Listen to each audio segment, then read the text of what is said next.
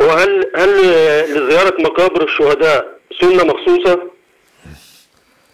لا ما في إلا السلام النبي عليه الصلاة والسلام زار شهداء أحد قبل موته بثمان سنين آه، شيخنا يعني بعض العلماء يقول إن يعني يسن آه، زيارة مقابر الشهداء فهل هي يعني تسن على العموم كزيارة المقابر ولا أم لها سنة مخصوصة؟